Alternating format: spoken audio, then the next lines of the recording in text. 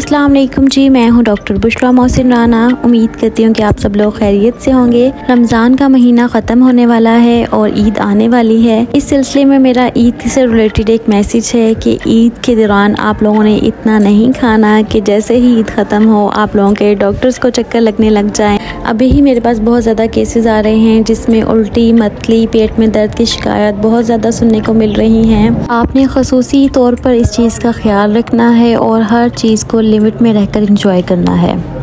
हमारे नबी पाक की भी सुन्नत है और मैंने वैसे कहीं पढ़ा है कि दस्तरखान पर हाथ खींच कर रखना मोमिन की निशानी है। ईद को आप लोगों ने भरपूर इंजॉय करना है और जिस तरह से चाहता है उस तरह से सेलिब्रेट करना है। जो दिल चाहता है वो खाना है, लेकिन हर चीज़ को लिमिट में रह के करना है।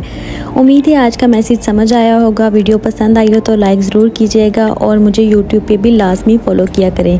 Thank you so much for watching me जजाकल्ला